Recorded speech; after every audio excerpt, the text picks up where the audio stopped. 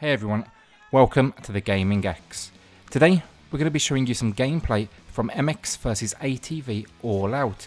What we're going to be doing is comparing the Xbox One X version to the Xbox One S and there seems to be a huge difference, one we haven't experienced before, between a game on a console from the same family.